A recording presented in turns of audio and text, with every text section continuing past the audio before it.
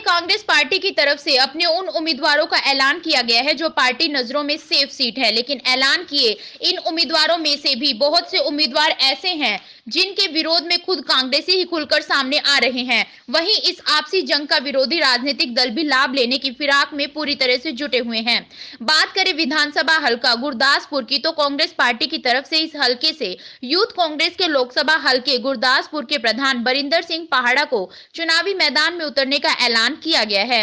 वहीं गुरदासपुर से ही कांग्रेसी नेता और टिकट के दावेदार रमन बहल खुलकर बरिंदर पहाड़ा के खिलाफ शाब्दी हमले कर रहे हैं। 2012 के विधानसभा के चुनाव में कांग्रेस की टिकट से लड़ने वाले रमन बहल, जो एक कांग्रेसी परिवार से है, जिनके पिता खुशहाल बहल गुरदासपुर से विधायक भी चुने गए थे और कई अलग अलग कांग्रेस की सरकारों के समय मंत्री भी रहे अब खुलकर अपनी ही पार्टी का विरोध कर रहे हैं और रमन बहल का कहना है कि बरिंदर पहाड़ा और उनका परिवार अकाली दल से है और वह पिछले समय में कांग्रेस के खिलाफ रहे हैं और अब कुछ समय पहले ही अकाली दल छोड़ कांग्रेस में शामिल हुए थे ਅ, ਇੱਕ ਬੜੀ ਨਾ ਅਨਫੋਰਚੂਨੇਟ ਜੀ ਸਿਚੁਏਸ਼ਨ ਗੁਰਦਾਸਪੁਰ 'ਚ ਬਣੀ ਆ ਤੁਸੀਂ ਹੈਰਾਨ ਹੋ ਕੇ ਦੇਖੋਗੇ ਵੀ ਅੱਜ ਚਾਰ ਕਾਂਗਰਸ ਅ, ਚਾਰ ਕੈਂਡੀਡੇਟ ਵਿਧਾਨ ਸਭਾ ਦੇ ਗੁਰਦਾਸਪੁਰ ਤੋਂ ਲੜ ਰਹੇ ਨੇ ਔਰ ਚਾਰਾਂ ਦੀ ਅਕਾਲੀ ਬੈਕਗ੍ਰਾਉਂਡ ਆ ਇੱਕ ਤੇ ਸ਼੍ਰੋਮਣੀ ਅਕਾਲੀ ਦਲ ਨੇ ਦਿੱਤਾ ਹੀ ਆ।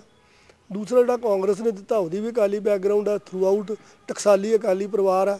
ਔਰ ਇਹ ਜਿਹੜਾ ਬਰਿੰਦਰ ਜੀ ਫੜਾ ਵਾ ਇਹਦੇ ਪਰਿਵਾਰ ਨੇ ਤਿੰਨ ਵਾਰੀ ਤਾਂ ਸਾਡੇ ਪਰਿਵਾਰ ਦੇ ਖਿਲਾਫ ਇਲੈਕਸ਼ਨ ਲੜਿਆ। ਇਹਦੇ ਦਾਦਾ ਜੀ ਨੇ 1972 'ਚ ਮੇਰੇ ਪਿਤਾ ਜੀ ਦੇ ਖਿਲਾਫ ਲੜਿਆ 1997 ਦੇ ਵਿੱਚ ਲੜਿਆ 2002 ਦੇ ਵਿੱਚ ਲੜਿਆ। ਹਾਂਜੀ ਸੋ ਉਹ ਜਿਹੜਾ ਆਪਣਾ ਤੀਸਰਾ ਆਮ ਆਦਮੀ ਪਾਰਟੀ ਦਾ ਅ, ਚਾਲ ਸਾਹਿਬ ਉਹਨਾਂ ਦਾ ਵੀ ਪਿਛੋਕੜ ਅਕਾਲੀ ਦਲ ਦੇ ਨਾਲ ਆ। ਸਰ ਸੁੱਚਾ ਸਿੰਘ ਛੋਟੇਪੁਰ ਜੀ ਦਾ, ਉਹਨਾਂ ਦਾ ਵੀ ਅਕਾਲੀ ਦਲ ਦੇ ਨਾਲ ਆ। ਕਹਿਣ ਤੋਂ ਭਾਵ ਵੀ ਅੱਜ ਗੁਰਦਾਸਪੁਰ ਦਾ ਆਵਾਮ ਕਨਫਿਊਜ਼ਡ ਆ। ਔਰ ਜਿਹੜੀ ਪਾਰਟੀ ਇੱਕ ਨੈਸ਼ਨਲ ਪਾਰਟੀ ਆ, ਜਿਹਦੇ ਨਾਲ ਹਜ਼ਾਰਾਂ ਇੰਨੇ ਲੋਕਾਂ ਦੇ ਜਜ਼ਬਾਤ ਜੁੜੇ ਨੇ, ਅੱਜ ਉਹਨਾਂ ਨੂੰ ਗੋਲਿਆ ਕੀਤਾ ਗਿਆ ਮੈਂ ਟਿਕਟ ਮਿਲਣ ਤੋਂ ਪਹਿਲਾਂ ਹੀ ਜੀ ਚਾਰ ਵਾਰੀ ਕਨਸਟੀਚੁਐਂਸੀਜ਼ ਹਰ ਪਿੰਡ ਦੇ ਵਿੱਚ ਜਾ ਚੁੱਕਾ ਕਿਉਂਕਿ ਮੈਂ ਯੂਥ ਕਾਂਗਰਸ ਦੀਆਂ ਚੋਣਾਂ ਲੜੀਆਂ। 2011 ਦੇ ਵਿੱਚ ਵੀ ਲੜੀ ਹੈ, ਹਲਕੇ ਦਾ ਪ੍ਰਧਾਨ ਰਿਹਾ ਯੂਥ ਦਾ। 2015 ਦੇ ਵਿੱਚ ਲੋਕ ਸਭਾ ਦਾ ਪ੍ਰਧਾਨ ਲੋਕਾਂ ਨੇ ਮੈਨੂੰ ਚੁਣਿਆ, ਮੇਰੇ ਭਰਾਵਾਂ ਨੇ। ਔਰ ਹਲਕੇ ਦੇ ਵਿੱਚ ਤਕਰੀਬਨ ਹਰ ਕਨਸਟੀਚੁਐਂਸੀ ਆਪਣੀ ਦੇ ਵਿੱਚ, ਹਰ ਪਿੰਡ ਨੂੰ ਆਪਾਂ ਟੱਚ ਕੀਤਾ। ਔਰ ਬੜਾ ਵਧੀਆ ਲੋਕਾਂ ਦਾ ਪਿਆਰ ਮਿਲ ਰਿਹਾ। ਔਰ ਇਸ ਪਿਆਰ ਦੇ ਸਦਕਾ ਜੋ ਮੈਂ, ਇਹ ਪਾਰਟੀ ਨੇ ਮੈਨੂੰ ਇੱਥੋਂ ਤੱਕ ਸਮਝਿਆ ਕਿ ਟਿਕਟ ਦਿੱਤੀ ਹੈ। ਔਰ ਮੈਂ ਪਾਰਟੀ ਦਾ ਮਾਣ ਉੱਚਾ ਕਰਾਂਗਾ, ਲੋਕਾਂ ਦੀਆਂ ਪੂਰੀਆਂ ਉਮੀਦਾਂ ਤੇ ਖਰਾ ਉਤਰਾਂਗਾ ਦੇਖੋ, ਮੈਂ ਨਹੀਂ ਸਮਝਦਾ ਕਿ ਕੋਈ ਨਾਰਾਜ਼ ਆ। ਦੇਖੋ, ਟਿਕਟ ਇੱਕ ਨੂੰ ਮਿਲਣੀ ਹੁੰਦੀ ਹੈ। ਔਰ ਮੈਂ ਉਹਨਾਂ ਦੇ ਬੱਚਿਆਂ ਵਰਗਾ।